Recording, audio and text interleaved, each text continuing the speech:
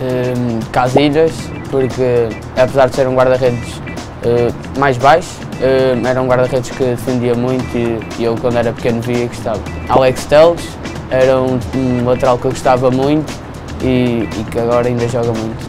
Pepe hum, é um capitão, é um, é um líder e é um jogador que toda a gente gosta. Militão, que agora está num grande clube, raça, dá tudo pelo clube. Eh, Maxi Pereira é um lateral muita raça, eh, corre muito e, e joga a Porto. Vitinha, porque é um jogador com muita criatividade, eh, faz a equipa jogar. O Otávio, porque é um jogador que dá tudo em campo, corre por todos e, e joga a Porto. É o médio mais ofensivo, é, o Rames, é um, um jogador com o pé esquerdo incrível e mete a bola onde quer.